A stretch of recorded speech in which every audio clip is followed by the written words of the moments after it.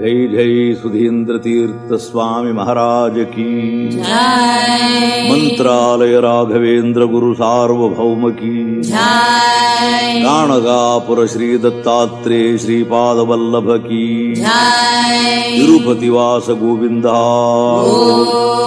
विश्वविजयविठला विठला हरमत्पार्वतीपते हर हर हर महादेव। वन्दे महानन्दम् अनन्तलीलम्।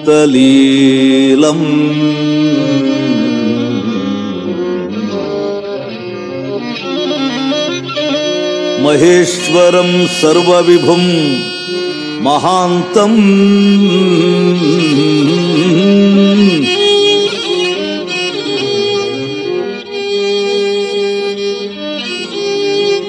கௌரி பிரியம். கார்த்திக விக்னராஜம் சமுদ্भवம் சங்கரம் ஆதி தேவம் சங்கரம் ஆதி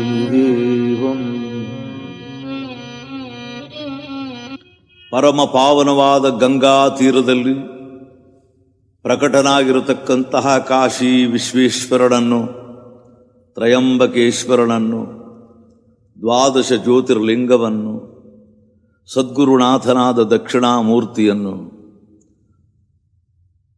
ಭಕ್ತವತ್ಸಲನಾದ ನಂಜುಂಡೇಶ್ವರನನ್ನು, ಓಂಕಾರೇಶ್ವರನನ್ನು ಸ್ಮರಿಸುತ್ತಾ ಮಹಾಗಣಪತಿಯ ಸುಬ್ರಹ್ಮಣ್ಯನ ಹರಿಹರ ಪುತ್ರನಾದ ಶಬರಿಮಲೈ ಅಪ್ಪ ಸ್ವಾಮಿಯನ್ನು ಚಿಂತಿಸಿ ಸರ್ವತೀರ್ಥಗಳನ್ನು ಸಂಸ್ಮರಿಸಿ, ಇಂದು ಮಹಾವಿಷ್ಣುವಿನ ದಶಾವತಾರದ ಹಾಗೆ ಪರಶಿವನ ಅನೇಕವಾದ ಅವತಾರ ಕ್ರಮಣಿಕೆಗಳನ್ನು ಭಕ್ತಿಯುಕ್ತವಾಗಿ ನಿವೇದಿಸುವುದಾಗ್ತದೆ.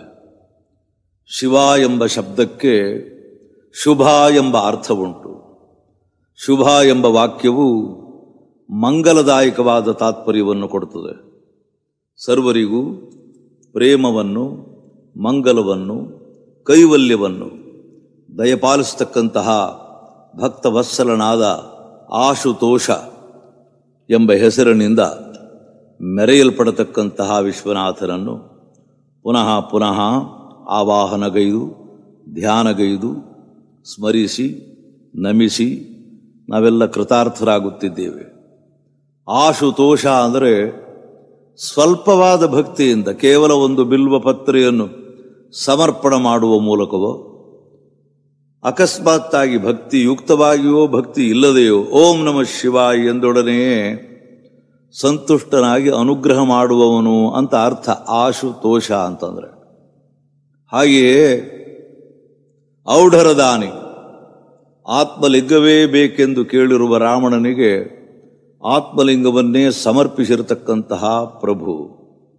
ಬೇಡಿದ್ದನ್ನು ನೀಡುವವನು ಎಂಬುದಕ್ಕಾಗಿ ಅವನಿಗೆ ಭೋಲೇನಾಥ್ ಅಂತ ಹಿಂದಿಯಲ್ಲಿ ಭೋಲಾ ಶಂಕರ ಅಂತ ನಮ್ಮ ದಕ್ಷಿಣ ಹಿಂದೂ ದೇಶದಲ್ಲಿ ಕರೀತೇವೆ.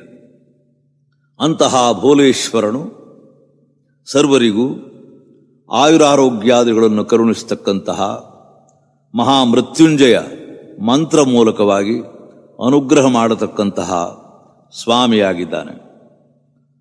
ಪರಮಾತ್ಮನ, ಪರಮೇಶ್ವರನ, ಶಿವನ ಒಂದೊಂದು ಆಯುಧಗಳು, ವಾಹನಗಳು, ಅವನು ಲೇಪಿಸ್ತಕ್ಕಂಥ ಭಸ್ಮಾದಿಗಳೆಲ್ಲ ಅಂತರಾರ್ಥಗಳಿಂದ ಒಡಗೊಂಡಿವೆ ಮೂರನೆಯ ಕಣ್ಣಿನಿಂದ ನಿಟಿಲ ನೇತ್ರದಿಂದ ಮನ್ಮಥನನ್ನು ಸುಟ್ಟು, ಅದರಿಂದ ಪ್ರಾಪ್ತಿಯಾದ ಭಸ್ಮವನ್ನು ಭಸ್ಮೋದ್ಧೂಳಿತಾಂಗನಾಗಿ ಪ್ರಕಟನಾದ ಎಂಬುದಕ್ಕೆ ನಮ್ಮಲ್ಲಿರುವ ಕಾಮಕ್ರೋಧ, ಲೋಭ, ಮೋಹ, ಮದ, ಮತ್ಸರಾದಿ ಷಡ್ವೈರಿಗಳನ್ನು ನಾಶ ಮಾಡಿ ಆ ಭಸ್ಮವನ್ನೇ ನಮ್ಮ ಮೈಗೆಲ್ಲ ನಾವು ಲೇಪಿಸಿಕೊಳ್ಳುವಂತಾಗಬೇಕು ಎಂಬುದೇ ತಾತ್ಪರ್ಯವು.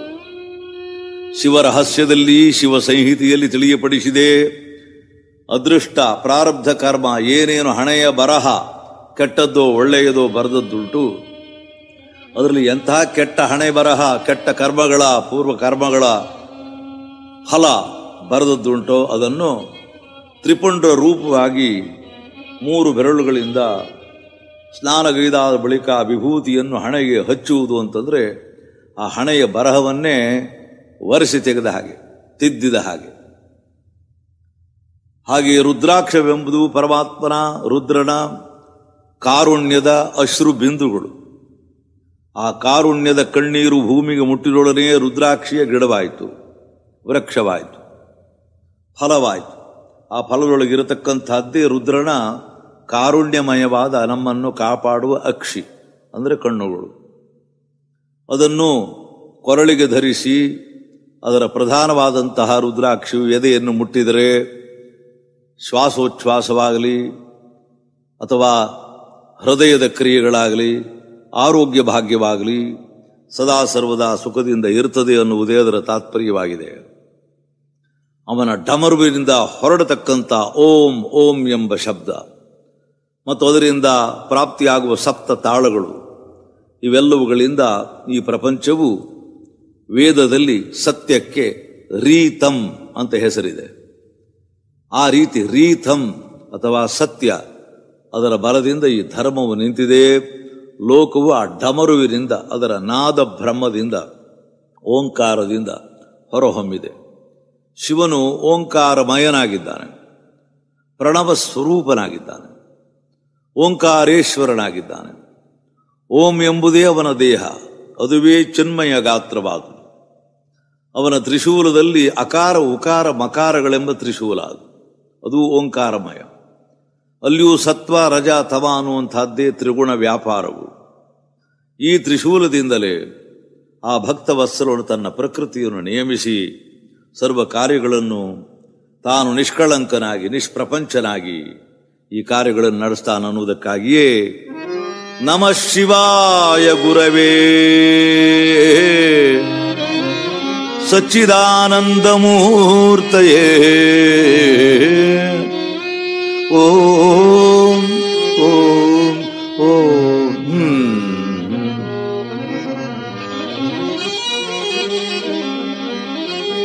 ನಿಷ್ಪ್ರಪಂಚಾಯ ಶಾಂತಾಯ ನಿರಾಲಂಬಾಯ ತೇಜಸೇ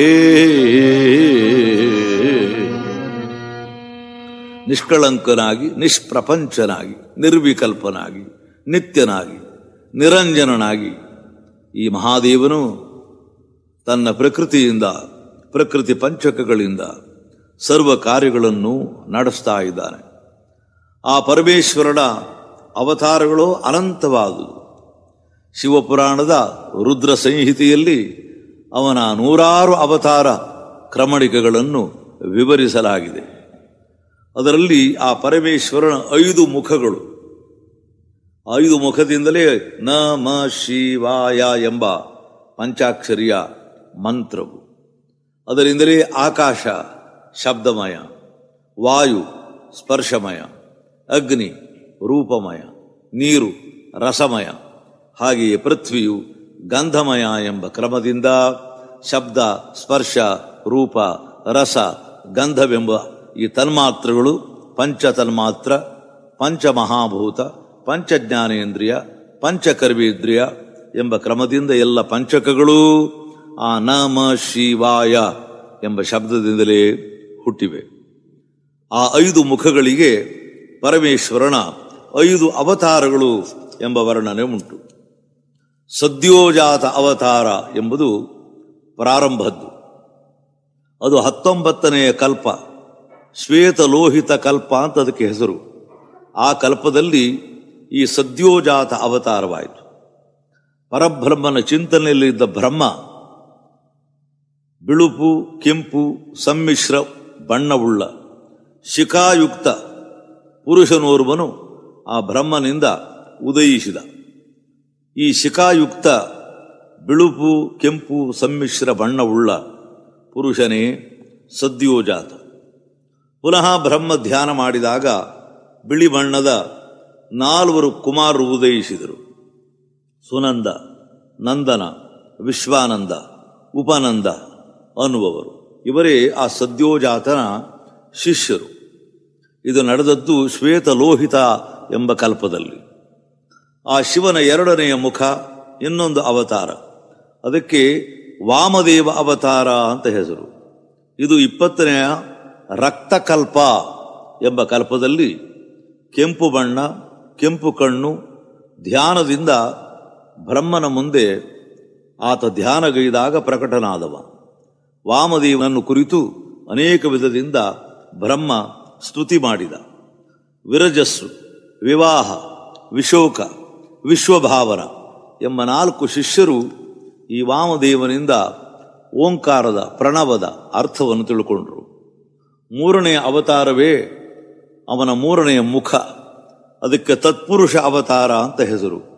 ಅದು ಇಪ್ಪತ್ತೊಂದನೆಯ ಕಲ್ಪ, ಪೀತವಾಸ ಕಲ್ಪ ಅಂತ ಅದಕ್ಕೆ ಹೆಸರು. ಬ್ರಹ್ಮ ಹಳದಿ ಬಟ್ಟೆ ಉಟ್ಟು ಧ್ಯಾನಗೈದ. ಆಗಲೇ ತತ್ಪುರುಷ ಅವತಾರವಾಯಿತು. ಪೀತವಸ್ತ್ರಧಾರಿ, ಕುಮಾರರು ಉದಿಸಿದರು, ಅವನು ಯೋಗ ಮಾರ್ಗವನ್ನು ಪ್ರಚುರಗೈದ.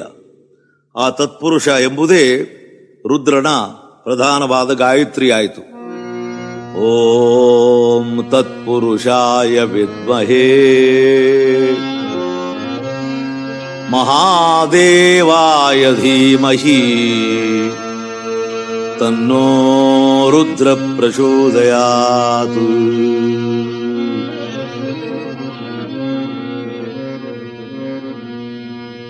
ಸಾಂಬ ಗೌರಿವರ ಶಂಕರ ಶಿವ ಶಂಕರ ಶಂಕರ ಶಿವ ಶಂಕರ ಶಂಕರ ಶಿವ ಶಂಕರ ಸಾಂಬ ಗೌರಿವರ ಶಂಕರ ಶಿವ ಶಂಕರ ತ್ರಿನೇತ್ರಧಾರಿ ಶಂಕರ ಶಿವ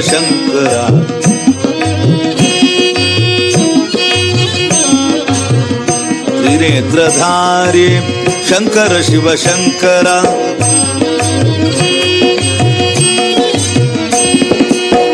त्रिलोकपावनने शङ्कर शिव शङ्कर त्रिगुणातीता शङ्कर शिव शङ्कर म्ब गौरी वर शङ्कर शिवशङ्करम्ब गौरि वर शङ्कर शिवशङ्करा शङ्कर शिव शिवशङ्कर शिवशङ्कर शिवशङ्करा शिवशङ्करा शङ्कर शिवशङ्करा शङ्कर शङ्कर शिव शङ्कर शिवशङ्करा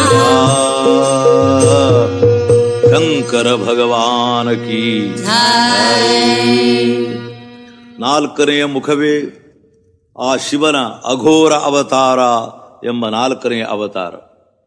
ಕಪ್ಪು ಬಣ್ಣದ ಕುಮಾರ, ಕರಿ ಉಡುಪು, ಕೃಷ್ಣ ಕೃಷ್ಣ ಶಿಖ, ಕೃಷ್ಣ ಆಸ್ಯ ಕೃಷ್ಣ ಕಂಠದೃಕ್. ಈ ನಾಲ್ಕು ಮಂದಿ ಆ ಅಘೋರನಂತೆಯೇ ಇರುವ ಶಿಷ್ಯರು ಘೋರವಾದಂತಹ ತಪ, ಯಾಗ, ಗೈದರು. ಎಲ್ಲ ಯಜ್ಞಗಳಿಗೂ, ಯಾಗಕ್ಕೂ ಅವನೇ ಅಧಿಕಾರಿಯು ಪರಮೇಶ್ವರನ ಐದನೆಯ ಅವತಾರವೇ ಅವನ ಐದನೆಯ ಮುಖ. ಅದಕ್ಕೆ ಈಶಾನ ಅವತಾರ ಅಂತ ಹೆಸರು. ವಿಶ್ವರೂಪ ಕಲ್ಪದಲ್ಲಿ ಬ್ರಹ್ಮನು ಶಿವಧ್ಯಾನಗೈಯಲು ಸ್ಫಟಿಕದಂತೆ ಹೊಳೆಯುವ ಈಶಾನ ಮೂರ್ತಿಯ ಶಿವನ ಐದನೆಯ ಅವತಾರದ ಆವಿರ್ಭಾವವಾಯಿತು. ಜಟಿ, ಮುಂಡಿ, ಶಿಖಂಡಿ, ಅರ್ಧಮುಂಡ ಈ ನಾಲ್ಕು ಮಂದಿಯ ಉದಯವಾಗಿ ಈಶಾನ ಅವತಾರನು ವೈರಾಗ್ಯ ಚಕ್ರವರ್ತಿಯಾಗಿ ಯೋಗ ಉಪದೇಶವನ್ನು ಗೈದ. ಇವೇ ಶಿವನ ಪಂಚಬ್ರಹ್ಮ ಮೂರ್ತಿಗಳು.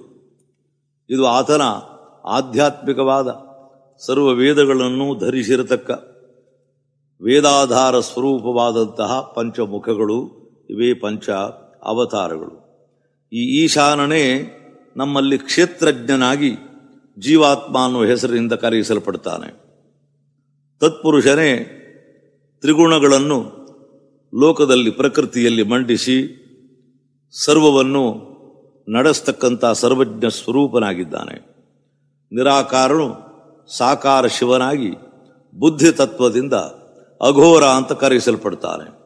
ಅಹಂ ತತ್ವ ಸ್ವರೂಪವೇ ವಾಮದೇವ ಅವತಾರವು.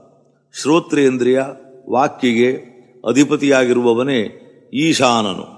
ಈಶಾನ್ಯ ದಿಕ್ಕಿಗೆ ದಿಕ್ಪಾಲಕರ ಮಧ್ಯದಲ್ಲಿ ಈಶಾನನಾಗಿ ಮೆರೆಯುವವನು ಅವನೇ. ಈಶಾನನಿಂದ ಆಕಾಶ, ಅಘೋರನಿಂದ ಅಗ್ನಿ, ತತ್ಪುರುಷನಿಂದ ವಾಯು, ವಾಮದೇವನಿಂದ ಜಲ, ಸದ್ಯೋಜಾತನಿಂದ ಪೃಥ್ವಿ. ಈ ರೀತಿ ಈ ಪಂಚ ಅವತಾರಗಳ ಸಾರವಾಗಿದೆ. ಆ ಬಳಿಕ ಶಿವನು ಗೈದ ಅಷ್ಟ ಮೂರ್ತಿ ಅವತಾರವೆಂಬುದೇ ಈ ಪ್ರಕೃತಿಯ ಅಷ್ಟಕಗಳಾಗಿವೆ. ಇದನ್ನು ಶಿವರಹಸ್ಯ ಶಿವಪುರಾಣದಲ್ಲಿ ಹೀಗೆ ವರ್ಣನೆ ಮಾಡಿದ್ದಾರೆ.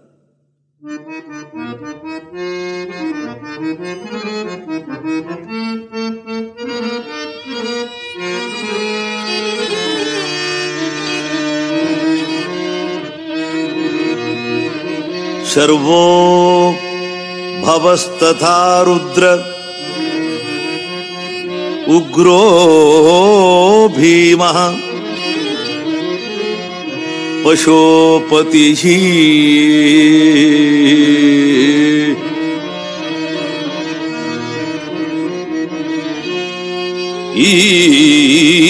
ಈಶಾನಸ್ತ ಮಹಾದೇವೋ ಮೂರ್ತಯಶ್ ಅಷ್ಟವಿಶ್ರುತಾ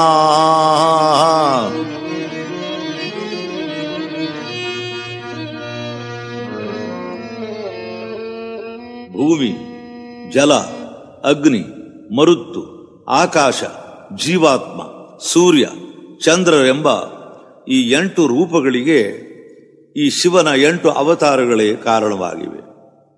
ಶರ್ವ ಎಂಬುದು ವಿಶ್ವಂಭರಾತ್ಮಕವಾದ್ದು. ಚರಚರಾತ್ಮಕವಾದ ಈ ಪ್ರಪಂಚವನ್ನು ಧರಿಸಿರುವ ಶಿವನ ಅವತಾರಕ್ಕೆ ಶರ್ವ ಅಂತ ಹೇಳುವುದು. ಭವ ಎಂಬ ಹೆಸರು ಬಹಳ ಎಲ್ಲರಿಗೂ ತಿಳಿದಿರುವಂತಹದ್ದು ಈ ಇಡೀ ಪ್ರಪಂಚವೇ ಜಲದಲ್ಲಿ ಮುಳುಗುವಾಗ ಯಾವ ಜಲವು ನಾರ ಅಂತ ಕರೆಯಿಸಲ್ಪಟ್ಟು ಅದರ ಮೇಲುಗಡೆ ವಿಷ್ಣುವು ನಾರಾಯಣನಾಗಿ ಪವಡಿಸ್ತಾನೋ ಆ ನೀರೇ ಭವದ ಜಲವೇ ಭವ. ಅದಕ್ಕೆ ಭವಸಾಗರದಿಂದ ದಾಟುವುದಕ್ಕೆ ಆ ಶಿವನನ್ನು ಭವ ಅಂತ ಧ್ಯಾನ ಮಾಡಿ ಮನುಷ್ಯರೂ ಧನ್ಯರಾಗ್ತಾರೆ. ಆ ಭವನ ಶಕ್ತಿಯೇ ಭವಾನಿಯು. ಶಿವನ ಶಕ್ತಿಯೇ ಶಿವಾನೆಯು ಈ ಭವವೆಂಬುದು ಅವನ ಅಷ್ಟ ಅವತಾರಗಳಲ್ಲಿ ಎರಡನೆಯದು. ಮೂರನೆಯದು ಉಗ್ರ ಎಂಬ ಅವತಾರ. ಇದುವೇ ನಮ್ಮ ಶ್ವಾಸೋಚ್ಛ್ವಾಸ ಕ್ರಿಯೆಗೆ, ಪ್ರಪಂಚದ ಪ್ರಾಣಕ್ಕೆ ಮತ್ತು ಪ್ರಾಣ ಅಪಾನ ಉದಾನ ಸಮಾನ ವ್ಯಾನಗಳೆಂಬ ಪಂಚ ಪ್ರಾಣಗಳಿಗೆ ಆಧಾರಭೂತವಾದ ಅವತಾರವು ಉಗ್ರ ಅವತಾರ. ಭೀಮ ಎಂಬ ಅವತಾರವು ಆಕಾಶ ತತ್ವಕ್ಕೆ ಅಧಿಪತಿಯಾಗಿರುವಂತಹದ್ದು ಪಶುಪತಿ ಎಂಬುದು ನಮ್ಮ ಜೀವಾತ್ಮನು ಯಾವ ಆಶಾ ಪಾಶದಿಂದ ಬಂಧಿತನಾಗಿದ್ದಾನೋ ಇದರಿಂದ ಜೀವಾತ್ಮನಿಗೆ ಪಶು ಅಂತ ಕರೆಯುತ್ತಾರೆ. ಆ ಎಲ್ಲ ಪಶುಗಳು, ಅಂದರೆ ಪಾಶ ಉಳ್ಳವರು, ಆ ಭವಪಾಶವನ್ನು, ಆಶಾಪಾಶವನ್ನು, ಮೋಹಪಾಶವನ್ನು ಕತ್ತರಿಸುವ ಸಲುವಾಗಿ ಪಶುಪತಿನಾಥನೇ ಕ್ಷೇತ್ರಜ್ಞ, ಜೀವಾತ್ಮನ ಒಳಗೂ ಹೊರಗೂ ವ್ಯಾಪಕನಾಗಿರುವ ಪರಮಾತ್ಮ ಅಂತ ಉಪಾಸನ ಮಾಡಬೇಕಾದ್ದು. ಅದುವೇ ಶಿವನ ಅಷ್ಟಾವತಾರಗಳಲ್ಲಿ ಐದನೆಯ ಅವತಾರವು. ಆರನೆಯದು ಹಿಂದೆ ಹೇಳಿದ ಹಾಗೆ ಈಶಾನ ತತ್ವ, ಅದು ಸೂರ್ಯನ ಬೆಳಕು, ಸೂರ್ಯನಲ್ಲಿರತಕ್ಕ ಗಾಯತ್ರಿ, ಆ ಸೂರ್ಯನಿಗೆ ಅಧಿಪತಿಯಾಗಿರುವ ತತ್ವವು. ಮಹಾದೇವ ಅನ್ನುವಂಥದ್ದು ಚಂದ್ರನಿಗೆ ಅಧಿಪತಿಯಾಗಿ, ರುದ್ರ ಅನ್ನುವಂಥದ್ದು ಎಲ್ಲ ಜೀವಾತ್ಮರಿಗೂ ಅಧಿಪತಿಯಾಗಿರುವ ಈ ಅಷ್ಟ ಮೂರ್ತಿಗಳು. ಸದ್ಯೋಜಾತ ವಾಮದೇವ ಅಘೋರ ಈಶಾನ ತತ್ಪುರುಷ ಎಂಬುದು ವೇದಿಕವಾದ, ವೈದಿಕವಾದಂಥ ಐದು ಅವತಾರಗಳಾದರೆ, ವೇದ ಸಂಬಂಧಿತವಾದ ಅವತಾರಗಳಾದರೆ, ಈ ಪ್ರಕೃತಿ ರೂಪವಾಗಿ ವಿಶ್ವರೂಪವಾಗಿ ಪರಮಾತ್ಮ ನಿಂತಿದ್ದಾನಲ್ಲ, ಇದು ಶರ್ವ, ಭವ, ಉಗ್ರ, ಭೀಮ, ಪಶುಪತಿ, ಈಶಾನ, ಮಹಾದೇವ ಮತ್ತು ರುದ್ರ ಎಂಬ ಅಷ್ಟಮೂರ್ತಿಗಳಾಗಿ ಪ್ರಕಟನಾಗಿರತಕ್ಕಂತಹ ಆ ಅಖಿಲಾಂಡ ಕೋಟಿ ಬ್ರಹ್ಮಾಂಡ ನಾಯಕನಿಗೆ ಇಡೀ ವಿಶ್ವವು ಸದಾ ಶರಣು ಅಂತ ಅನ್ನುತ್ತದೆ. ತ್ರಿಗುಣಾತೀತ ತ್ರಿಜಗ ವಿಖ್ಯಾತ ತ್ರಿನಯನ ತ್ರಿಮೂರ್ತಿ ರೂಪ ಶಿವ.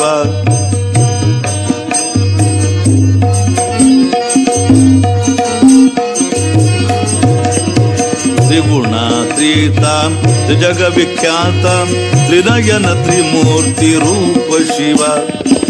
त्रिपुरमर्दनात्रिनेत्र त्रिशूल धारि त्रिनेत्रिशूल शिव।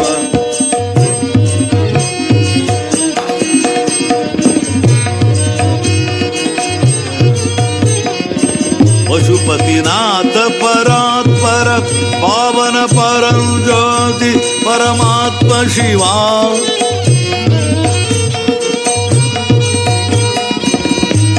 व्योम स्थित परम धाम परमेश्वर पार्वती रमण शिव। ओम नमः शिवाय ओम नमः शिवाय। ॐ नमः शिवाय ॐ नमः शिवाय। ओम नमः शिवाय ओम नमः शिवाय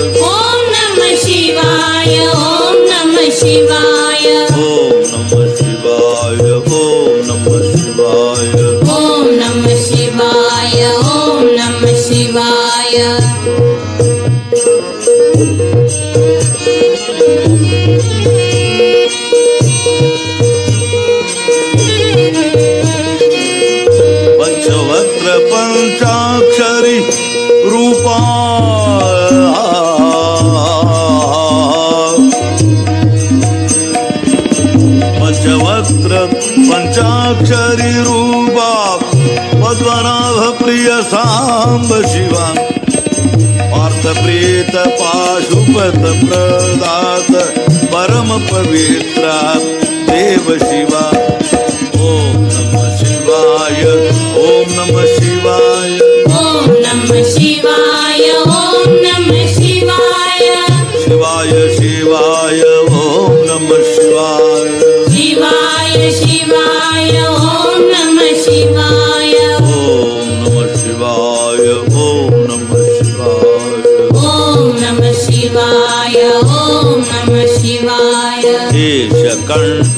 भुज सर्वभूषिता कौशिक अगस्त्य विनूत शिवा। केशवदास सुपूजित काशी विश्वनाथ परमात्म शिवा। ओम नमः शिवाय नमः शिवाय। ॐ नमः शिवाय ॐ नमः शिवाय। शिवाय शिवाय ओम नमः शिवाय।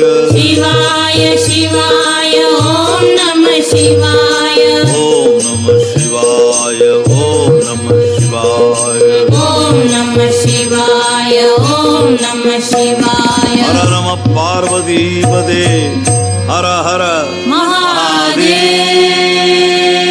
ದೇವ ಹೀಗೆ ಅಷ್ಟಮೂರ್ತಿ ಅವತಾರನಾಗಿ ಪ್ರಕಟನಾಗಿರತಕ್ಕಂತಹ ಪರಮೇಶ್ವರನ ಧ್ಯಾನ ಮಂತ್ರವು ಬಹಳ ಸುಂದರವಾದದ್ದು ಇದನ್ನು ಸರ್ವರೂ ಸದಾಕಾಲವೂ ಪ್ರತಿನಿತ್ಯವೂ ತಪ್ಪದೇ ಅಭ್ಯಾಸ ಮಾಡಬೇಕಾದ್ದು.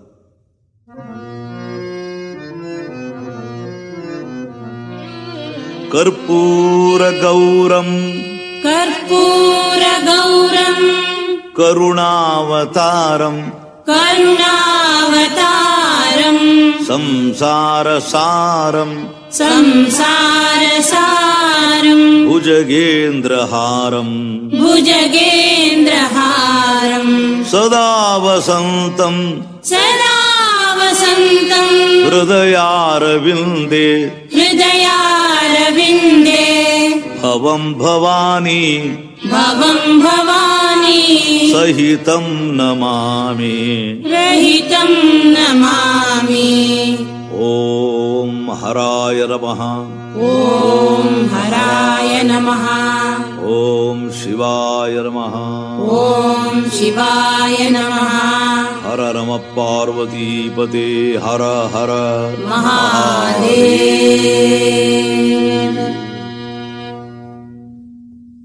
ಬ್ರಹ್ಮನು ಸೃಷ್ಟಿ ಕಾರ್ಯಕ್ಕಾಗಿ ಪರಮೇಶ್ವರನಿಂದ ನಿಯಮಿಸಲ್ಪಟ್ಟ ಆದರೆ ಮಾನಸ ಪುತ್ರರಾಗಿ ಮರೀಚಿ, ಅತ್ರಿ, ಆಂಗಿರ, ಪುಲಹ, ಪುಲಸ್ತ್ಯ, ಕೃತು, ಬ್ರಹ್ಮರ್ಷಿ ವಸಿಷ್ಠಾದಿ, ಅನೇಕ ಮುನಿಗಳನ್ನು ಸನಕ, ಸನಂದನ ಸನತ್ ಕುಮಾರ ಸನತ್ಸುಜಾತಾದಿ ನಾರದಾದಿ, ಮಾನಸ ಪುತ್ರರನ್ನು ಬ್ರಹ್ಮನು ಸೃಷ್ಟಿ ಮಾಡಿದರೂ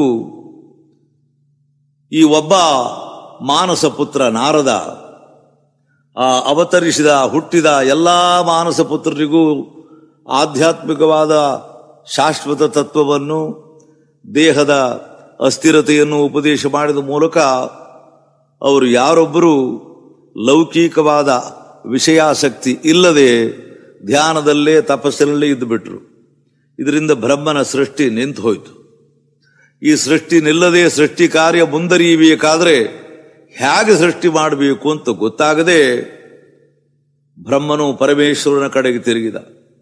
ಆ ಭಕ್ತವತ್ಸಲನ್ನು ಬೇಡಿಕೊಂಡ ಶಂಭೋ ಮಹಾದೇವ ಚಂದ್ರಚೂಡ ಶಂಭೋ ಮಹಾದೇವ ಚಂದ್ರಚೂಡ ಶಂಕರ ಸಾಂಬ ಸದಾಶಿವ ಶಂಕರ ಸಾಂಬ ಸದಾಶಿವ ಗಂಗಾಧರ ಹರ ಕೈಲಾಸವಾಸ ಗಂಗಾಧರ ಹರ कैलासवासा पाहि पाहिमा पार्वती रमण।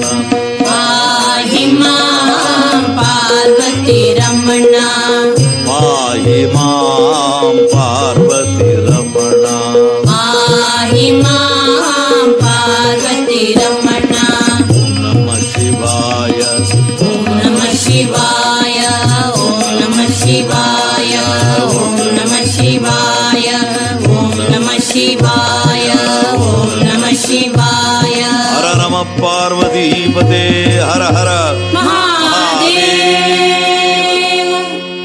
ಆ ಪರಮೇಶ್ವರನ ಅನುಸಂಧಾನಗೈದಾಗ ಶಿವನು ಸೃಷ್ಟಿ ಕಾರ್ಯ ಹೇಗೆ ಮುಂದರಿಯುತ್ತದೆ ಎಂಬುದನ್ನು ತೋರುವ ಸಲುವಾಗಿ ಎತ್ತಿದ ಅವತಾರಕ್ಕೆ ಅರ್ಧ ನಾರೀಶ್ವರ ಅವತಾರ ಅಂತ ಹೆಸರು. ಎಡಭಾಗದಲ್ಲಿ ಶಕ್ತಿಯು, ಬಲಭಾಗದಲ್ಲಿ ಪುರುಷಾಕಾರದ ಶಿವನಾಗಿ ಸ್ತ್ರೀ ಪುರುಷ ಈ ರೂಪದಿಂದಲೇ ಸೃಷ್ಟಿ ಕಾರ್ಯ ಸದಾ ಮುಂದರಿಯುತ್ತದೆ ಎಂಬುದನ್ನು, ಆ ಜ್ಞಾನವನ್ನು ಬ್ರಹ್ಮನಿಗೆ ಕೊಡುವ ಸಲುವಾಗಿ ಪರಮೇಶ್ವರನು ಅರ್ಧನಾರೀಶ್ವರನಾದ. ಅರ್ಧನಾರೀಶ್ವರ ಅವತಾರವು ಪುರುಷ ಅರ್ಧ, ಸ್ತ್ರೀ ಅರ್ಧಾಂಗಿರಿ ಈ ತತ್ವದಿಂದಲೇ ಪುರುಷ ಪ್ರಕೃತಿಯ ಸಂಯೋಗದಿಂದ ಆನಂದ ತತ್ವವೆಂಬುದು ಪ್ರಕಟವಾಗಿ ಸೃಷ್ಟಿ ಕಾರ್ಯ ಮುಂದರಿಯುತ್ತದೆ. ಪುರುಷ ತತ್ವವು ಸತ್, ಸ್ತ್ರೀ ತತ್ವವು ಚಿತ್, ಇವೆರಡರ ಸಂಯೋಗವೇ ಆನಂದ ಬ್ರಹ್ಮನಾಗಿ ಆ ಶಿವ ಶಕ್ತಿಯಿಂದ ಪ್ರಾದುರ್ಭವಿಸಲ್ಪಟ್ಟ ಗಣೇಶ, ಷಣ್ಮುಖ, ಅದೇ ರೀತಿ ಅಯ್ಯಪ್ಪ ಸ್ವಾಮಿ, ಹರಿಹರ ಪುತ್ರ, ವೀರಭದ್ರ ಎಂಬಿತ್ಯಾದಿ ಪುತ್ರರ ಉದಯಗಳು ಸೃಷ್ಟಿ ಕಾರ್ಯದ ಸಂಕೇತವಾಗಿದೆ. ಆ ಬಳಿಕ ಶಿವನು ತನ್ನ ಅರ್ಧ ಶರೀರದಲ್ಲಿರುವ ನಾರಿಯನ್ನು ಪ್ರತ್ಯೇಕಿಸಿ ತಾನು ಅದೃಶ್ಯನಾಗಿ ಆ ನಾರಿಯ ಸ್ವರೂಪಳಾದ ಉಮಾದೇವಿಯನ್ನು ಬ್ರಹ್ಮನಿಗೆ ಉಪದೇಶ ಮಾಡುವಂತೆ ಕೊಟ್ಟು ಕಳುಹಿದ ಆ ದೇವಿಯೇ ಆಶೀರ್ವಾದ ಮಾಡಿ ಮೊಟ್ಟ ಮೊದಲ ನಾರಿಯಾದಳು. ಆಕೆಯೇ ನನ್ನ ಮಗನಾದ ದಕ್ಷ, ಬ್ರಹ್ಮ ಬೇಡಿದ ನನ್ನ ಮಗನಾದ ದಕ್ಷನ ಒಂದು ವಂಶವನ್ನು ಪಾವನ ಮಾಡುವ ಸಲುವಾಗಿ ಜಗದಲ್ಲಿ ಸ್ತ್ರೀಯರೇ, ಎಲ್ಲ ಕಡೆಯಿಂದಲೂ ನಿನ್ನ ಮೂಲಕವಾಗಿ ಪ್ರಕಟರಾಗಿ, ಎಲ್ಲರೂ ನಿನ್ನ ಸ್ವರೂಪರಾಗಿ ಈ ಸೃಷ್ಟಿ ಕಾರ್ಯದ ಸ್ಥಿತಿಯನ್ನು ಮುಂದುವರಿಸುವಂತೆ ನೀನೇ ಮಾಡಮ್ಮ ಅಂತ ಆ ಜಗದಂಬಿಕೆಯನ್ನು ಬಹಳ ಭಕ್ತಿಯಿಂದ ಪ್ರಾರ್ಥನೆ ಮಾಡಿಕೊಂಡ ಬ್ರಹ್ಮ. ಆ ಜಗದಂಬಿಕೆಯ ಕಾರುಣ್ಯವಾಯಿತು. ಇದರಿಂದಾಗಿಯೇ ಈ ಇಡೀ ಸೃಷ್ಟಿ ಕಾರ್ಯ ಮತ್ತು ಮುಂದುವರಿಯುವುದಕ್ಕೆ ಅನುಕೂಲವಾಯಿತು. ಅದಕ್ಕಾಗಿ ಆ ದೇವಿಯನ್ನು ಬಹಳ ಭಕ್ತಿಯಿಂದ ಬೇಡಿಕೊಂಡ. ಪೂರ್ಣ ಬ್ರಹ್ಮ ಸ್ವರೂಪಿಣಿ ನಾರಾಯಣಿ ನಾರಾಯಣಿ ನಾರಾಯಣಿ.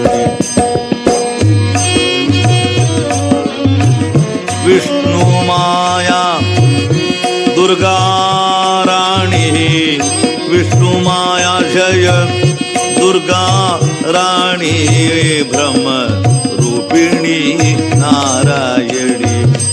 परब्रह्म रूपिणी नारायणी।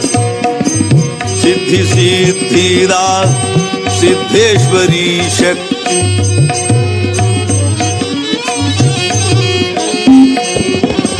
सिद्धि रूपा बुद्धि प्रदेईश्वरी शांति भ्रांति चेतना परात परे।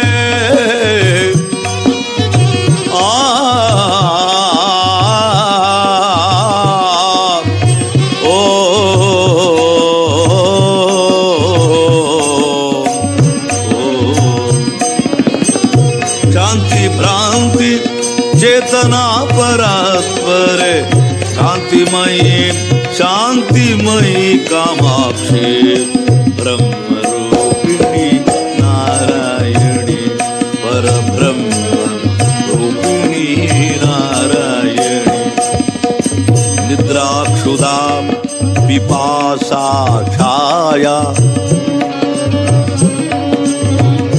दयामयी तुष्टि पुष्टि तुष्टिपुष्टिकारिणि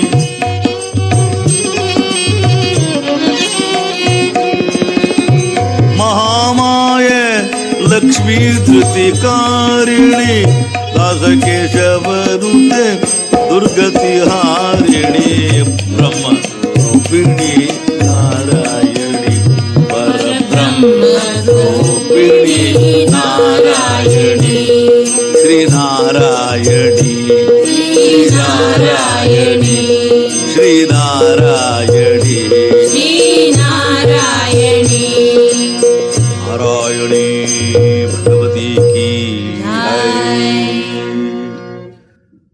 ಬ್ರಹ್ಮದೇವನ ಪ್ರಾರ್ಥನೆಯಂತೆ ಬ್ರಹ್ಮನ ಮಗನಾದ ದಕ್ಷನ ಮನೆಯಲ್ಲಿ ದಕ್ಷ ಪುತ್ರಿಯಾಗಿ ಮೊಟ್ಟ ಮೊದಲ ನಾರಿ, ಅರ್ಧ ನಾರಿ, ಈಗ ಸತಿ ಎಂಬ ಹೆಸರಿನಿಂದ ದಕ್ಷ ಪುತ್ರಿಯಾಗಿ ಹುಟ್ಟುತ್ತಾಳೆ. ಅವಳೇ ಪ್ರಥಮ ಸ್ತ್ರೀ ಆದ್ರಿಂದ ಅವಳಿಗೆ ಸತಿ ಅಂತ ಹೆಸರು.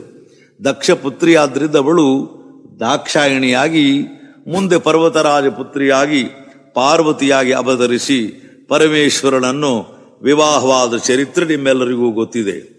ಅದೇ ಅರ್ಧನಾರೀಶ್ವರನ ಪರಮ ಪಾವನವಾದ ಅವತಾರವು. ಹೀಗೆ ಬೇರೆ ಬೇರೆ ಕಲ್ಪಗಳಲ್ಲಿ ವೇದವ್ಯಾಸ ಸ್ವರೂಪ ಮಹಾವಿಷ್ಣುವಿದು ಆಗುವಾಗ ಆಗ ಶಿವನು ಆ ವೇದವ್ಯಾಸರಿಂದ ನೂತನಾಗಿ ಅವತಾರ ಎತ್ತಿ ಬರ್ತಾನೆ. ಪ್ರಥಮ ದ್ವಾಪರ ಅಂತ್ಯದಲ್ಲಿ ಮನುವಿನ ಮೊಮ್ಮಗ ಕಲ್ಪೇಶ್ವರ ಶಿವ. ಕಲ್ಪೇಶ್ವರನೇ ದ್ವಿತೀಯ ದ್ವಾಪರದಲ್ಲಿ ವಿಷ್ಣುವಿನ ಅಂಶವಾಗಿ ವ್ಯಾಸರಾಗಿ ಬರುವಾಗ ಕಲ್ಪೇಶ್ವರನಾಗಿ ಶಿವನ ಪ್ರಾಕಟ್ಯ. ಕಲಿಯುಗದ ಆದಿ ಭಾಗದಲ್ಲಿ ಶಿವನು ಶ್ವೇತನೆಂಬ ಮಹಾಮುನಿಯಾಗಿ ಬರುವ. ತೃತೀಯ ದ್ವಾಪರಾಂತ್ಯದಲ್ಲಿ ಸತ್ಯ ಪ್ರಜಾಪತಿಯೇ ವ್ಯಾಸನಾದಾಗ ಸುತಾರ ಎಂಬ ಹೆಸರಿನಿಂದ ಶಿವಯೋಗಿ ಬರ್ತಾನೆ. ಭಾರ್ಗವನೇ ವ್ಯಾಸನಾದಾಗ ಶಿವನು ದಮನ ಎಂಬ ಅವತಾರವೆತ್ತಿ ಬರ್ತಾನೆ. ಆಂಗಿರಸ್ಯ ಎಂಬವನು ವ್ಯಾಸನಾದಾಗ ಸುಹೋತ್ರ ಮುನಿಯ ರೂಪದಿಂದ ಶಿವನ ಅವತಾರವಾಗಿದೆ. ಸವಿತೃವೇ ವ್ಯಾಸರಾದಾಗ ಕಂಕಯೋಗಿ ಎಂಬ ಹೆಸರಿನಿಂದ ಶಿವನು ಪ್ರಕಟನಾಗಿದ್ದಾನೆ. ಸನಕಾದಿಗಳೇ ಆ ಕಂಕಯೋಗಿಯ ಮಕ್ಕಳಾಗಿದ್ದಾರೆ. ಆರನೆಯ ದ್ವಾಪರಾಂತ್ಯದಲ್ಲಿ ಮೃತ್ಯುವೇ ವ್ಯಾಸನಾದಾಗ ಲೋಕಾಕ್ಷಿ ನಾಮದಿಂದ ಶಿವನ ಅವತಾರವಾಗಿದೆ. ಹಾಗೆಯೇ ಬೇರೆ ಬೇರೆ ಶತಕೃತು ವ್ಯಾಸನಾದಾಗ ಜೈಗೀಶವ್ಯನೆಂಬ ಮುನಿಯ ಅವತಾರದಿಂದ ಶಿವ ಬಂದಿದ್ದಾನೆ. ಎಂಟನೇ ದ್ವಾಪರದಲ್ಲಿ ವಸಿಷ್ಠನೇ ವ್ಯಾಸನಾದಾಗ ಆ ವೇದವನ್ನು ವಿಭಜಿಸುವ ವೇದ ವ್ಯಾಸರಾಗಿ ಆ ಪರತತ್ವ ಪ್ರಕಟವಾಯಿತು. ಮಹಾವಿಷ್ಣುವಿನಿಂದ ಆಗಲು ಋಷಭಯೋಗಿಯಾಗಿ ಶಿವನು. ಭೃಗುತುಂಗ ಶಿಖರದಲ್ಲಿ ಶಿವನು ಪ್ರಕಟನಾಗಿ ತಪನೆಂಬ ಹೆಸರಿನಿಂದ ಬಂದ, ಮುಂದೆ ಅತ್ರಿಯಾಗಿ ಬಂದ. ಆ ಬಳಿಕ ಅತ್ರಿ ಮತ್ತು ಅನಸೂಯ ಸಂಯೋಗದಿಂದ, ಅಂದರೆ ಅವರ ಪ್ರಾರ್ಥನೆಯಿಂದ ತ್ರಿಮೂರ್ತಿಗಳು ಅವತಾರ ಎತ್ತುವಾಗ ಬ್ರಹ್ಮನಿಂದ ಚಂದ್ರ, ವಿಷ್ಣುವಿನಿಂದ ದತ್ತ, ಶಿವನಿಂದ ದೂರ್ವಾಸ ಅವತಾರ ಅಂತಾಯಿತು. ಆ ದೂರ್ವಾಸನೇ ಅಂಬರೀಷನನ್ನು ಪರೀಕ್ಷಿಸಿ ಆತನು ಮಹಾಭಕ್ತರಂತೆಂಬುದನ್ನು ಲೋಕಕ್ಕೆ ಸ್ಪಷ್ಟಗೊಳಿಸಿರತಕ್ಕಂಥವನು. ಹೀಗೆ ಒಂದೊಂದು ವ್ಯಾಸಾವತಾರ ವಿಷ್ಣು ವ್ಯಾಸನಾಗುವಾಗ ಪರಮೇಶ್ವರನು ತಾನೇ ಬರ್ತಾನೆ, ಶಿವನೇ ಗೋಕರ್ಣನಾಗಿ, ಗುಹಾವಾಸಿ ಎಂಬ ಹೆಸರಿನವನಾಗಿ, ಶಿಖಂಡಿಯಾಗಿ, ಜಠಾಮಾಲಿಯಾಗಿ, ಅಟ್ಟಹಾಸನಾಗಿ, ಬೇರೆ ಬೇರೆಯಾದ ಹೆಸರುಗಳಿಂದ ಪ್ರಕಟನಾಗಿರತಕ್ಕಂಥ ಆ ಶ್ವೇತನು ಆ ಶೂಲಿಯು, ಆ ಮುಂಡೀಶ್ವರನು, ಆ ಸಹಿಷ್ಣುವು, ಆ ಸೋಮಶರ್ಮನು, ಬ್ರಹ್ಮಚಾರಿಯ ಅವತಾರನು, ಯೋಗೇಶ್ವರನು. ಹೀಗೆ ಪಂಚ ಸದ್ಯೋಜಾತಾದಿ ಮೂರ್ತಿಗಳು ಎಂಟು ಅಷ್ಟಮೂರ್ತಿಗಳು, ಅರ್ಧ ನಾರೀಶ್ವರ ಅವತಾರ ಮತ್ತು ಇಪ್ಪತ್ತೆಂಟು ಮಹಾಯೋಗಿಗಳ ಅವತಾರ. ಹೀಗೆ ನಲವತ್ತೆರಡು ಅವತಾರ ಕ್ರಮಣಿಕೆಯನ್ನು ಈ ತನಕ ಸೂಕ್ಷ್ಮವಾಗಿ ವಿವರಿಸಿದ್ದಾಯಿತು. ಹೀಗೆಯೇ ನಂದೀಶ್ವರ ಅವತಾರವೆಂದು ಶಿಲಾದನು ಇಂದ್ರನ ತಪವನ್ನು ಗೈದು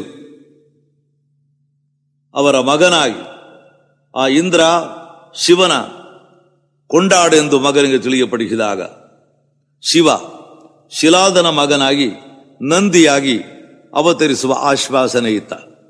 ಇದರಿಂದ ಯಾವುದು ಶಿವರ ವಾಹನ ನಂದಿ ಅಥವಾ ವೃಷ ವೃಷಭ ಅಂತ ನಾವು ಕರೀತೇವೆ ಆ ನಂದೀಶ್ವರ ಅವತಾರ ಅಥವಾ ವೃಷಭಾವತಾರ ಶಿವನ ಸ್ವರೂಪವೇ ಆಗಿದೆ.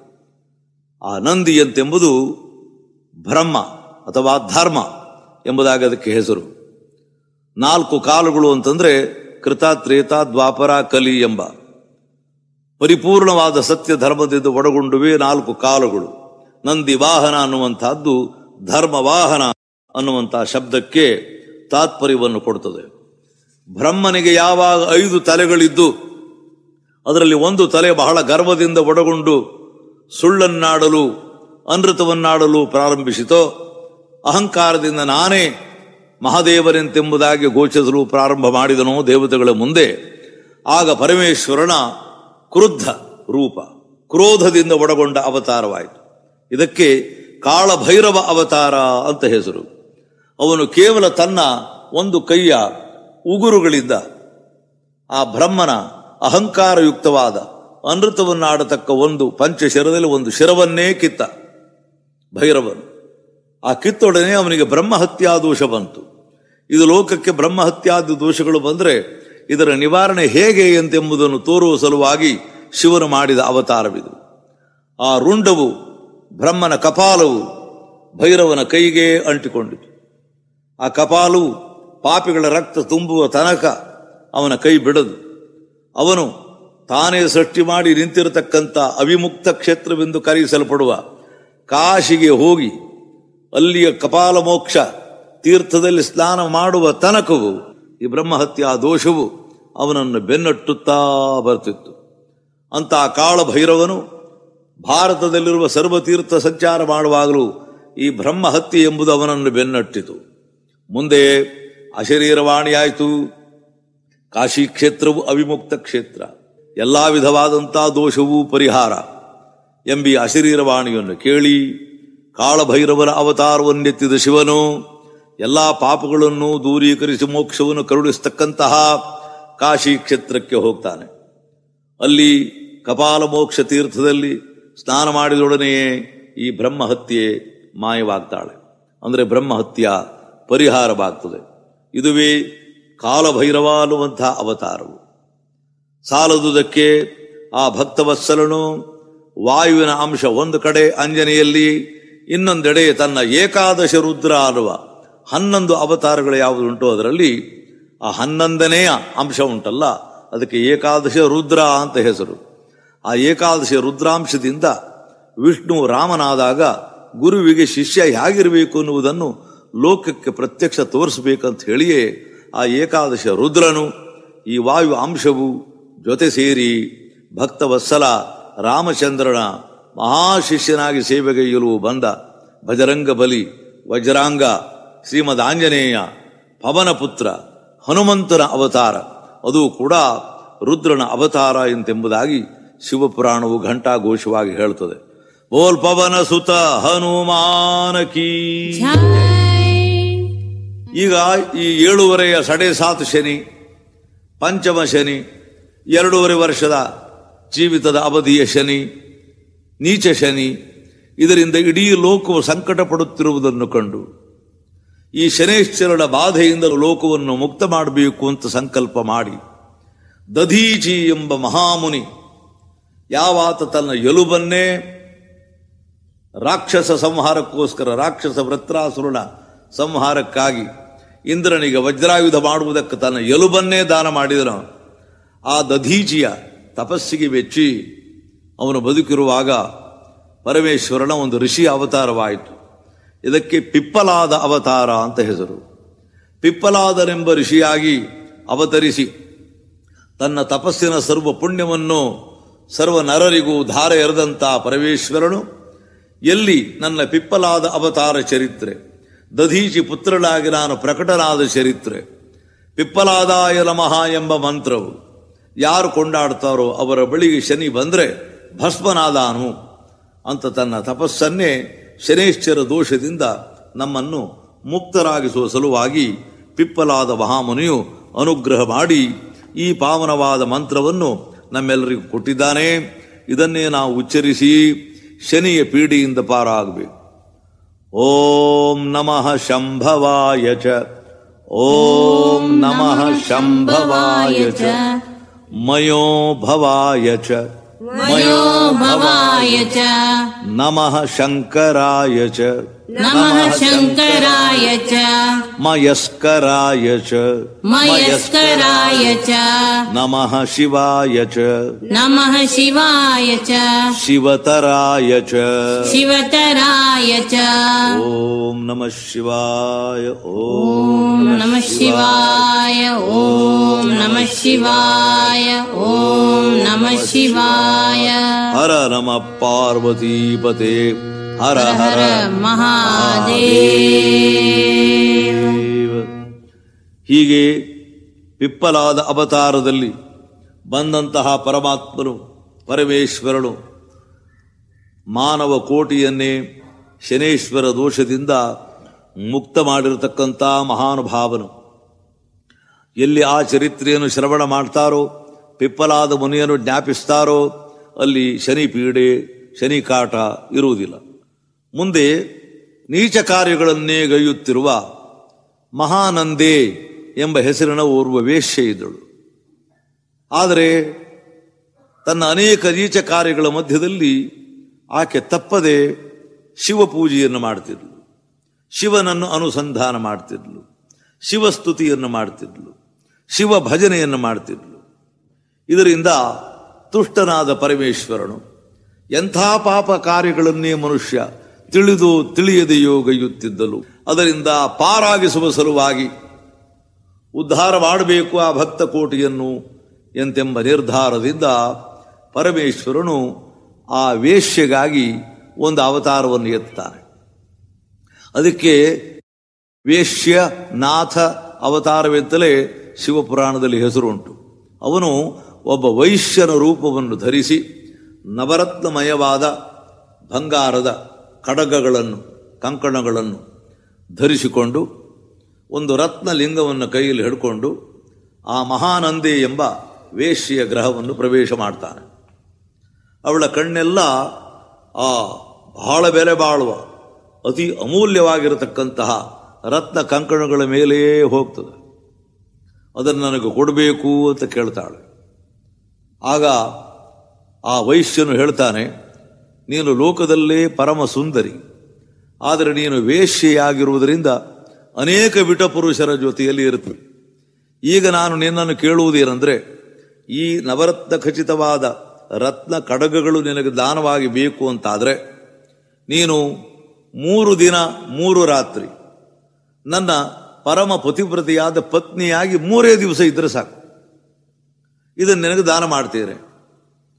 ಮಹಾನಂದಿಯು ಸಂತೋಷವಾಗಿ ಶಿವನೆಂಬುದನ್ನು ತಿಳಿಯದೆ ಬಹಳ ಸಂತೋಷವಾಗಿ ಶಿವ ಸಾಕ್ಷಿಯಾಗಿ ನಾನು ನಿನಗೆ ಮೂರು ದಿವಸ ಪತಿವ್ರತೆ ಪತ್ನಿಯಾಗಿ ಇರ್ತೇನೆ ಎಂಬ ವಚನ ಕೊಡ್ತಾಳೆ. ಅದರಲ್ಲಿ ಮೊದಲನೇ ದಿವಸ ರಾತ್ರಿಯೇ ವೈಶ್ಯ ರೂಪದಿಂದ ಶಿವನು ಮಹಾನಂದೆಯ ಬಳಿಯಲ್ಲಿ ರತ್ನಲಿಂಗ ಏನು ಕೊಟ್ಟಿದ್ದಾನೋ ಅದನ್ನು ಶಿವಪೂಜೆ ಮಾಡುವ ಜಾಗದಲ್ಲಿ ಇಟ್ಟಿದ್ದಾಳೆ. ಇವರಿರುವರು ಮಲಗಿದ್ದಾರೆ. ಆಗ ಶಿವನೇ ಅವಳ ಪರೀಕ್ಷೆಗಾಗಿ ತನ್ನ ಹಣೆಗಣ್ಣಿನಿಂದ, ನಿಟಿಲ ನೇತ್ರದಿಂದ ಅಗ್ನಿಯನ್ನು ಉತ್ಪನ್ನ ಮಾಡಿ ಆ ಇಡೀ ಮನೆಯೇ ಸುಟ್ಟು ಹೋಗುವ ಹಾಗೆ ಮಾಡ್ತಾನೆ. ಅದರ ಜೊತೆಯಲ್ಲಿ ಆ ರತ್ನ ಲಿಂಗವೂ ಸುಟ್ಟು ಹೋಗ್ತದೆ. ಆಗ ಮರು ದಿವಸ ವೈಶ್ಯರೂಪಿಯಾಗಿ ಬಂದಂತಹ ಶಿವನು ಬಹಳ ಕಳವಳಗೊಂಡು ಆ ರತ್ನ ಲಿಂಗವೇ ನನ್ನ ಸರ್ವಸ್ವವಾಗಿತ್ತು. ಅದು ಯಾವಾಗ ಸುಟ್ಟು ಹೋಯ್ತೋ ಇನ್ನು ನಾನು ಬದುಕಿ ಫಲ ಇಲ್ಲ. ಈಗಲೇ ನಾನು ಪ್ರಾಣ ತ್ಯಾಗ ಮಾಡ್ತೀರಿ ಅಂತ ಹೇಳಿ ಅವಳ ಪರೀಕ್ಷೆಗಾಗಿ ಎದುರುಗಡೆಯಲ್ಲೇ ಒಂದು ಚಿತೆಯನ್ನು ನಿರ್ಮಾಣ ಮಾಡಿ ವೈಶ್ಯ ರೂಪಿಯಾಗಿ ಬಂದಂತಹ ಪರಮೇಶ್ವರನು ಅದರಲ್ಲಿ ಹಾರಿಬಿಡ್ತಾನೆ. ಆಗ ಮೂರು ದಿವಸ ನಾನು ಪತಿವ್ರತೆಯಾದ ಪತ್ನಿಯಾಗಿ ಇರ್ತೇನೆ ಅಂತ ಮಾತು ಕೊಟ್ಟ ವೇಷಿಯಾದ ಮಹಾನಂದೆಯು ಆ ಮೂರು ದಿವಸದಲ್ಲಿ ಕೇವಲ ಒಂದೇ ದಿವಸ ಆಗಿದೆ. ಇನ್ನೂ ಎರಡು ದಿವಸ ಅವಳು ಪತಿವ್ರತ ಪತ್ನಿಯಾಗಿ ಅವನ ಜೊತೆಯಲ್ಲಿ ಇರಬೇಕಾಗಿತ್ತು. ಆ ಪತಿವ್ರತೆಯು ಆ ಕಾಲದಲ್ಲಿ ಪತಿ ಹೊರಟು ಹೋದ ಮೇಲೆ ಅದೇ ಚಿತೆಯಲ್ಲಿ ಸತಿ ಸಹಗಮನಗೈದು ಪತಿಲೋಕಕ್ಕೆ ತೆರಳುವಂತಹದ್ದೇ ಧರ್ಮ ಎಂತೆಂಬುದಾಗಿ ತಿಳಿದು ಆ ಮಹಾನಂದಿ ಎಂಬ ವೇಶ್ಯೆಯು ತಾನು ಆ ಮೂರು ದಿನ ಪತಿವ್ರತೆಯಾಗಿ ಇರ್ತೀರಿ ಅಂತ ವಚನ ಕೊಟ್ಟದ್ದರಿಂದ ಶಿವಸಾಕ್ಷಿಯಾಗಿ ಈಗ ವೈಶ್ಯರೂಪಿಯಾಗಿ ಬಂದ ರತ್ನ ಕಂಕಣ ತನಗೆ ರತ್ನ ಲಿಂಗ ಕೊಟ್ಟಂತಹ ವೈಶ್ಯ ಯಾವಾಗ ಅಗ್ನಿಯಲ್ಲಿ ಬಿದ್ದನೋ, ನಾನಿನ್ನು ಬದುಕಿ ಫಲ ಇಲ್ಲ, ನನ್ನ ಪತಿಯನ್ನೇ ನಾನು ಅನುಸರಿಸ್ತೀನಿ ಅಂತ ಓಂ ನಮ ಶಿವಾಯ ಅಂತ ಸ್ತುತಿ ಮಾಡುವುದಕ್ಕೆ ಪ್ರಾರಂಭ ಮಾಡಿದ್ಲು. ಅಗ್ನಿಕುಂಡದಲ್ಲಿ ಹಾರುವುದಕ್ಕೆ ಸಿದ್ಧಳಾದಳು ಜಯ ಮಹೇಶ ಝೂಟ, ಕಂಠ ಸೋಹೆ ಕಾಳ ಕೂಟ. ಕಂಠ ಸೋಹೆ ಕಾಳ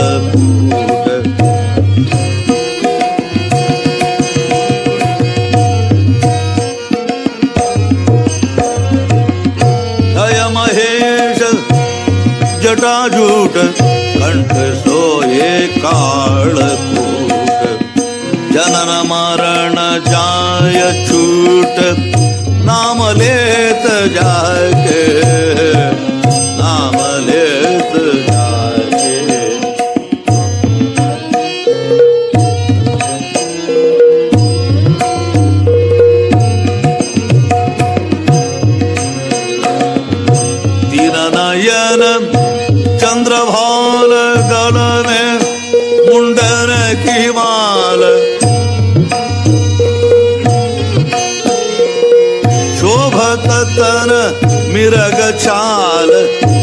में नाग बांके जय महेश जूट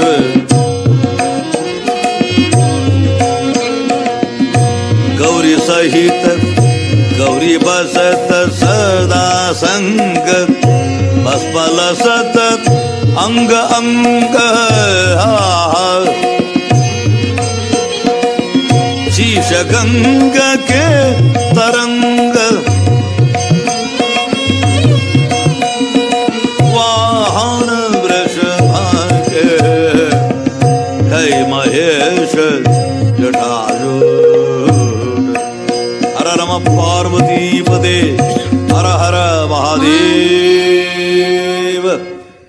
ಶಿವನ ಸ್ತುತಿ ಮಾಡುತ್ತಾ, ಆ ಮಹಾನಂದೆ ಎಂಬ ವೇಶ್ಯೆ ಅಗ್ನಿಯಲ್ಲಿ ಹಾರುವುದಕ್ಕೆ ಸಿದ್ಧಳಾಗ್ತಾಳೆ. ಆಗ ಅವಳ ನಿಜ ಭಕ್ತಿಯನ್ನು ಕಂಡು ಪರಮೇಶ್ವರನು, ತಾನು ವೇಶ್ಯಾನಾಥಾವತಾರ ಎಂಬ ರೂಪದಿಂದ ಪ್ರಕಟನಾಗಿ ಆಕೆಯ ಮೇಲೆ ವಿಶೇಷವಾದಂತಹ ಅನುಗ್ರಹ ಮಾಡ್ತಾನೆ ಎಂಬಂಥ ಈ ಚರಿತ್ರೆಯೂ ಶಿವಪುರಾಣದಲ್ಲಿ ಉಕ್ತವಾಗಿದೆ. ಇದಲ್ಲದೆ ಪರಮೇಶ್ವರನ ನಾನಾ ಅವತಾರಗಳಲ್ಲಿ ಆಹುಕ ಎಂಬ ಭಿಲ್ಲ. ಆಹುಕ ಎಂಬಂಥ ಭಿಲ್ಲನು. ಆ ವ್ಯಾಧನಿಗೆ ಆಹುಕೆ ಎಂಬವಳು ಪತ್ನಿ. ಅಲ್ಲಿಗೆ ಶಿವನು ಒಬ್ಬ ಸಾಧುವಿನ ರೂಪ ಧರಿಸಿ ಬರ್ತಾರೆ. ಇದಕ್ಕೆ ಯತಿನಾಥ ಅವತಾರ ಅಂತ ಹೇಳಿದ್ರೆ ಇದೆಲ್ಲ ನಿಮಗೆ ಗೊತ್ತಿಲ್ಲ. ಅನೇಕವಾದಂಥ ಈ ತತ್ವಗಳು ಶಿವ ರಹಸ್ಯದಲ್ಲಿ ಅಡಕವಾಗಿರತಕ್ಕಂಥ ಅನಂತ ಅವತಾರಗಳುಂಟು. ನಾವು ತಿಳಿದದ್ದು ಕೇವಲ ಒಂದು ಸಮುದ್ರದ ಒಂದು ಬಿಂದುವಿನಷ್ಟು ಕೂಡ ಇಲ್ಲ.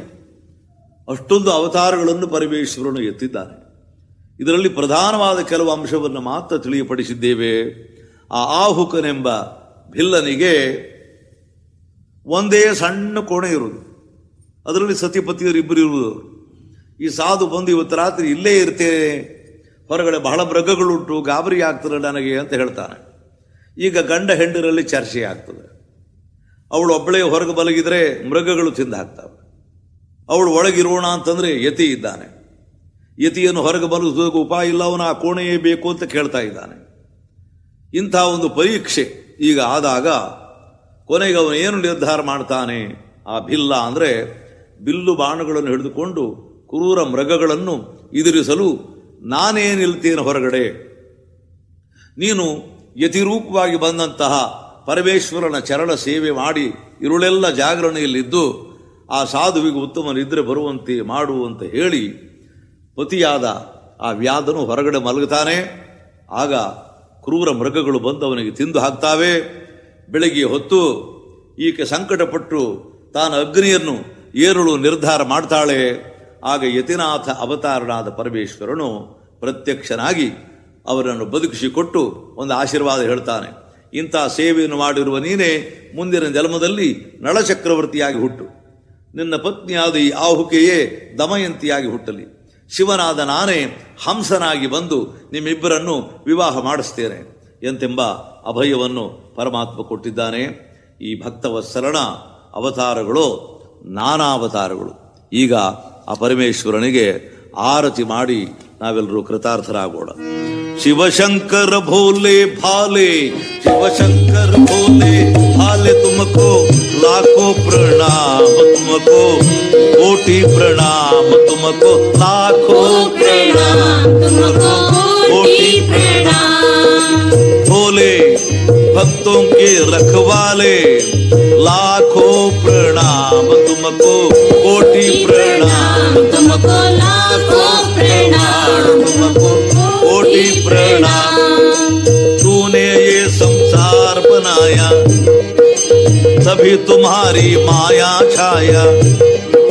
सर्पों के माला वाले कैलाश पर्वत वाले लाखों प्रणाम तुमको कोटि प्रणाम। तुमको लाखों प्रणाम। शांति शांति। पार्वतीपते हर हर। महादेव।